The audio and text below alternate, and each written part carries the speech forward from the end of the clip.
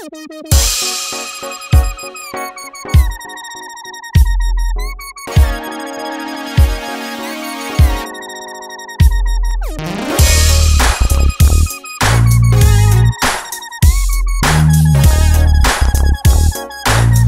everyone, it's time for 2.4 histograms.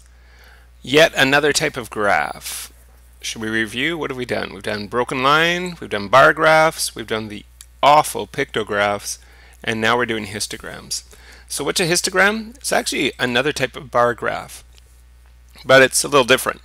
So it shows data organized into intervals of equal size. This is the important part that each of the the things that are graph it's an interval so for example in this particular uh, histogram right here this bit, this first bar right here, goes from 100 to 150. So any trees, I guess we're talking about tree height here, any trees that are between 100 and 150 centimeters get counted in right there. So it's a range, right?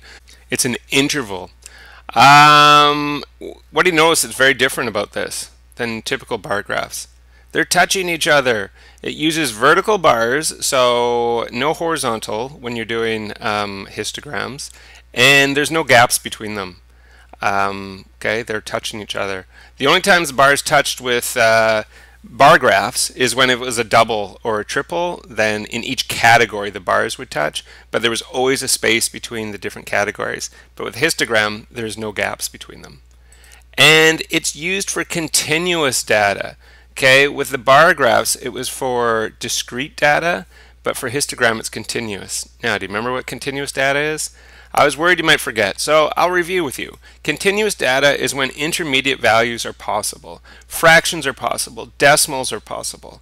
It's data or values that you measure, right? When you get tree height, you measure the height. You have to take some kind of ruler or, I don't know, some kind of digital equipment, and you're going to measure the tree height. With discrete data, those were just values that you count.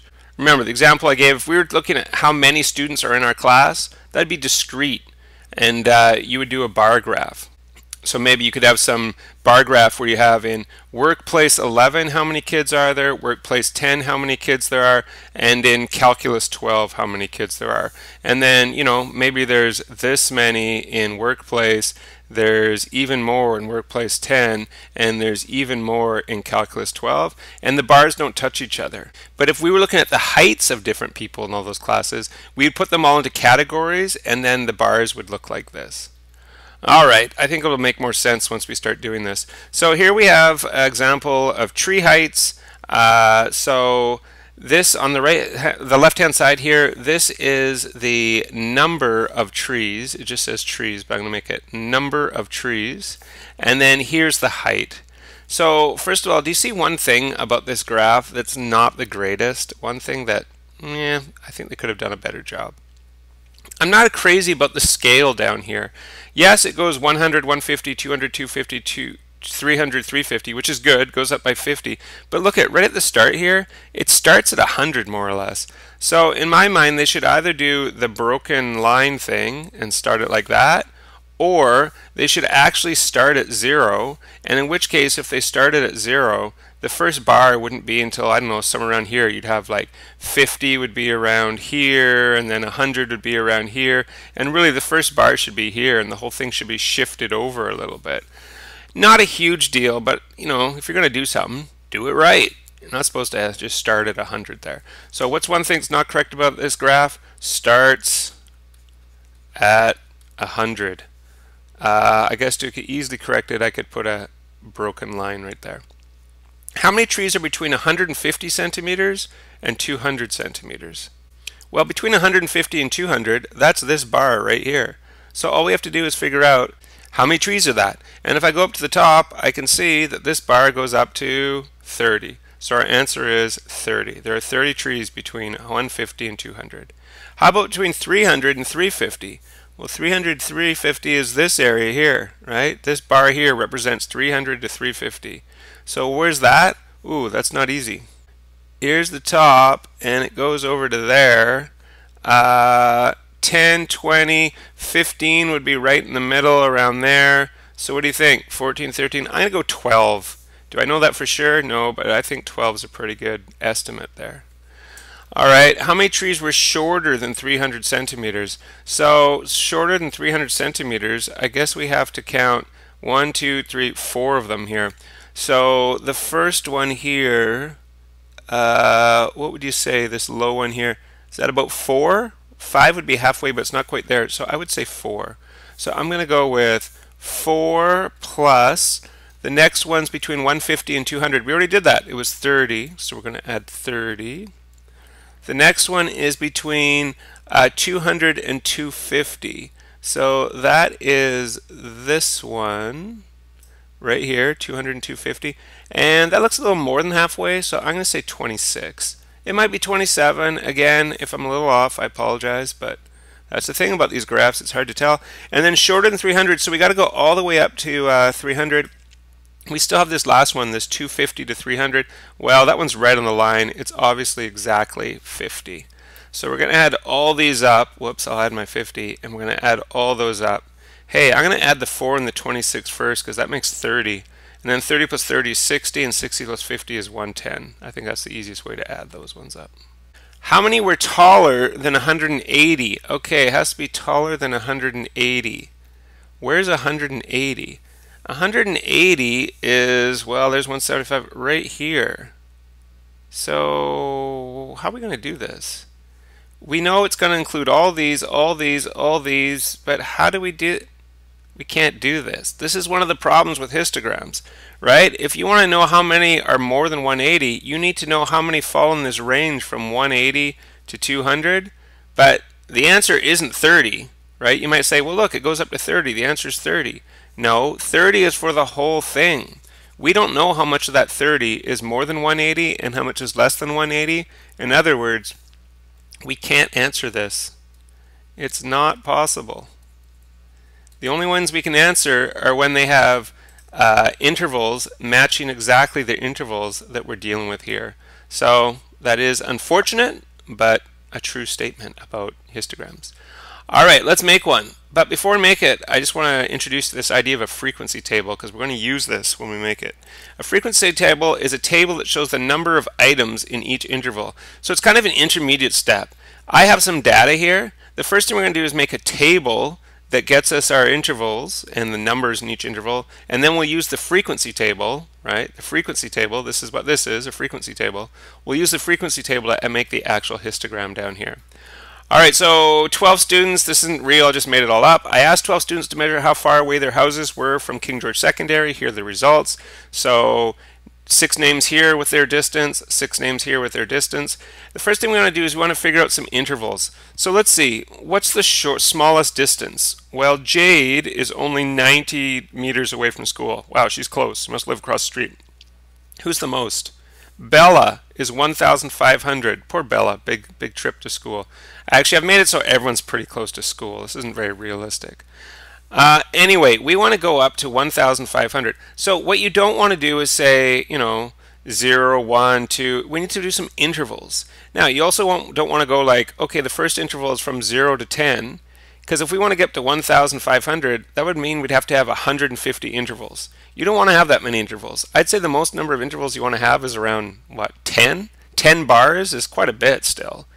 So to do, if you did 10 bars, let's see, 1,500 divided by 10 would be 150. Why don't we go a little higher? Why don't we go up to 200 with each one? So why don't we make the first interval from 0 to 200 meters, and then from 200 to 400 meters, 400 to 600 meters, 600 to 800, 800 to 1,000, 1,000 to 1,200, 1,200 to 1,400, and 1,400 to 1,600. Look, it fits in my table perfectly. It's almost like I had this pre-planned. Uh, uh, uh. Okay, so now we need to count how many fall into each interval.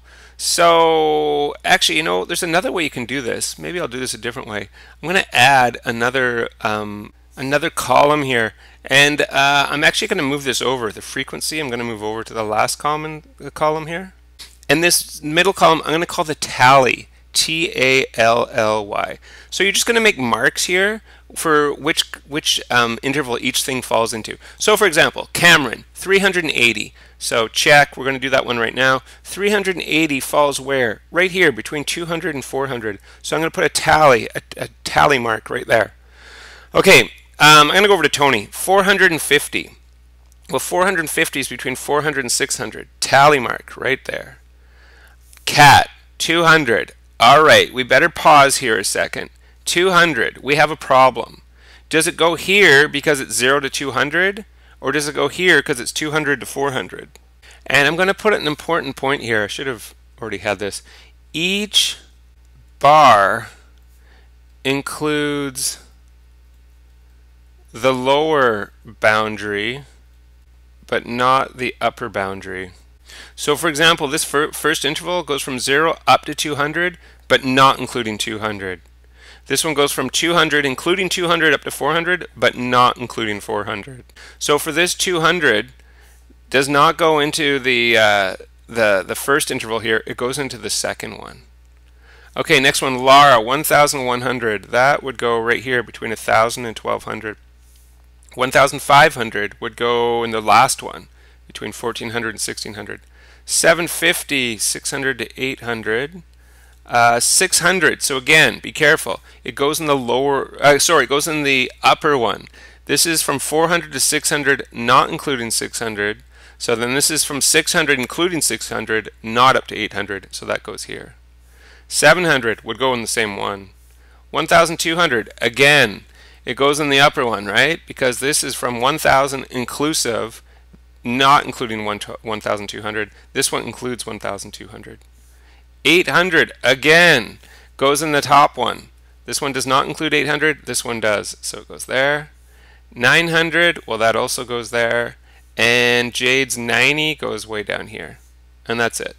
So now what you do for frequency, you just add them up. Well, I've got one here, two uh, tally marks there, one, three, two, one, one, one. And we're good to go. We can make our uh, histogram now. So not much room for a title, but I'll squeeze something in. Okay, we actually only need to have a total, the most it goes up to is 3. It's not very high, so it's going to be a very short histogram. Maybe I'll even move this down. Uh, okay, so on the left-hand side, we're going to have the frequency. Frequency. And as I said, it's only going up to 3. Maybe I'll go 1, skip 1, skip 2, skip 3. That's as high as it's going. On the bottom, we're going to have uh, our distance and remember, this is in meters. So now we have to do our interval. The first interval is from 0 to 200, right? So it goes 0 to 200. The next one's 200 to 400, up to 600, 800, 1,000, 1,200, 1,400, 1,600. Uh, I know we don't have anything up to 1,600, but you don't want to do something weird and have like 200, 400, 600, 800, 1,000. Whoa, that looks like 100. 1,000, 1,200, 1,400, 1,500. You wouldn't want to do that because then you've been going up by 200 and then suddenly 100 here. So make sure you go up by the same amount. Okay, how many were in the first one? One. So we're going to make a bar here at 1. The next one I believe was 2. Yes, 2. So our bar will look like this. After that, it went back to 1 and then to 3, so I'm going to do them both. There's the 1.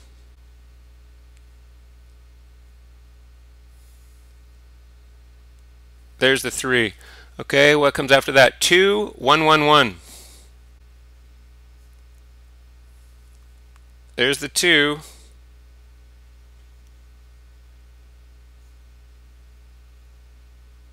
Now, you could just draw this like that. That's fine. Or you can go one, one, one. This is probably better, actually, do it like this. All right, I know you love them colored in. Okay, there you go. We've done it. Made a beautiful histogram. Uh, how satisfying. You can either do it like that, or if you want, you could also make it so you can still see the individual bars. Uh, it's totally up to you. I kind of prefer this, but, you know, your choice, everyone. All right, that's histograms. Hope that makes sense. See ya. Bye.